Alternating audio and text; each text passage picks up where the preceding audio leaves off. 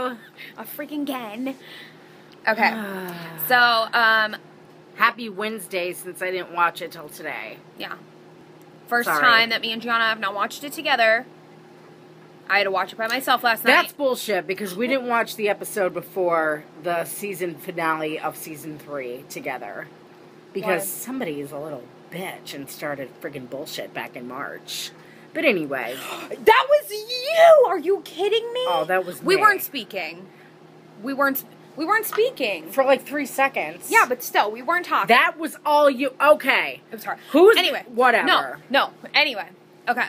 So, um, I watched it here at Gianna's house by myself last night because Gianna had some stuff going on. Yeah, so I had watched justified issues. Yeah. So anyway, I just watched it, season four, episode seven, Crash Burn Girl. I think I said that already. Whatever. I don't really care. Um, So we uh, last night the contest ended, and uh, congratulations to everybody out there that won. Um, we had Jessica Mendez in third place, uh, second place Sarah Hines, and in uh, first place we had uh, Pretty Little Liar Obsessions. So we really like everybody that uh, we liked every single entry we got. Um, and I know that a lot of them, uh, all three that we picked were kind of Spoby ones, and that wasn't intentional.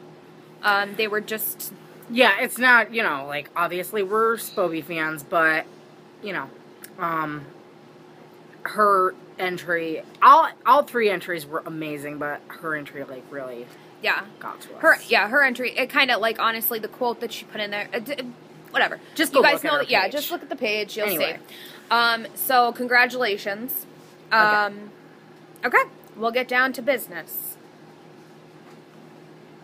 Go on. Okay, so starting off, you may read because I can't You can't read me. Okay. So we start off with, um, you know, whatever. It opens. We know that Ashley's in jail and all this stuff's going on. And what kind of what kind of got me is um, they said that um, Hanna's father is not letting Hanna attend any of the meetings on uh, like what's going on with her. I mean, she's going to see her and visit her, but um, when like when she's visiting her, they're not really talking about her case or anything like that. So Hanna's kind of like out of the loop. Um, her father's not letting her attend any of the meetings or anything. So Which, on his part, that is such BS. I understand. Like if if he's coming from a father's perspective, he probably just wants to protect his daughter from And, it. and I mean, that's But- understandable, but at the same time, it's, it's her mother, Yeah. you know, like, Yeah. hello? Um, yes, freaking whatever you want to call them, Co- Yes. Kobe or Caleb. Caleb, whatever the hell you want to call them. Uh, bromance to the max, and I'm loving Loved it. Yeah, Loved it. Sexy. Now they're the sexiest couple on PLL. Mm, yeah. Um, okay, so uh, what what stood out to me is um, Emily's mom lets uh, Emily know that somebody at the station um, let uh, like let her mother know about the shots that she uh, can get that'll help her out.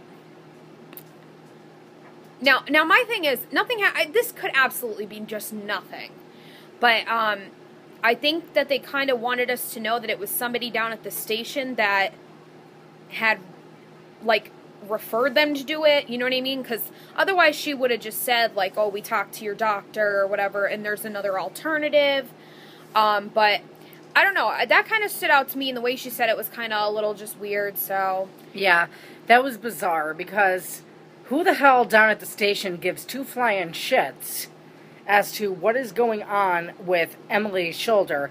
And furthermore, why didn't her mother, Pam, why didn't she say who the hell it was? Yeah. Like, some I, I don't know. That was just a little strange. Just somebody at the station said that you should do this. What's really pissing me off though is Emily's mother is pissing me off to the max. Emily's getting text messages from Hanna, and Emily's mom, uh, Pam, tells her, you know, I think you should stay away, like from Hanna. She's going through a lot of stuff right now. I think it's in your best interest to stay away. You know, people talk.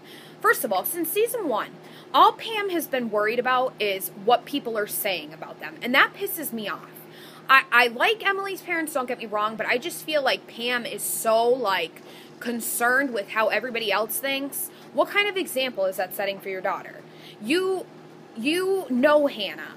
Pam, you know friggin' Hanna, okay? Uh, you know Ashley Marin. With the stuff that's going on with you right now, with being like looked at as somebody who abuses their child, uh, you should understand that people get accused of things that they do not do. Um, especially in this town, and it's really pissing me off that she's telling her to stay away from Hanna because she's afraid of what people are going to think. Were those her exact words though, or did she say like you know let her? Well, she she was like, plus she needs to spend now, some time with her dad. But if you go back and rewatch it, she really does. She makes it seem like you know I don't think you hanging out with Hanna right now is the best thing, best thing for you with everything that's going on. Like people talk. That that's what she said, and that's pissing me off. Like what kind of exam? Uh, like what kind of example?